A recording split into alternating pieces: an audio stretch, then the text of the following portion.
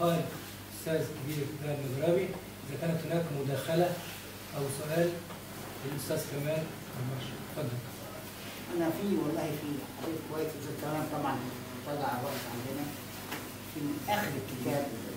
على صوتك. إنت بس مش عارف دي مطبعية ولا نسيها لأن نعرف إحنا لما نيجي نتكلم في الشعر لازم الوزن في الآخر زي بعض. فهو بيقول إيه؟ بلاش تفكروني بيها لأن فعلا مش ناسيها واشتقت تيجي بيها وبتمنى أعيش فيها وعشانها ومن غيرها بقيت بكتب واحن هو كاتب لها هي ليها. واحن ليها. هي مظبوطة جدا. لأن الجملة اللي قبلها غيرها مش مش ليها بقيت بكتب واحن هو كاتب لها هي ليها عشان تيجي مع الوزن الوزن بيها الوزن لازم يتعمل.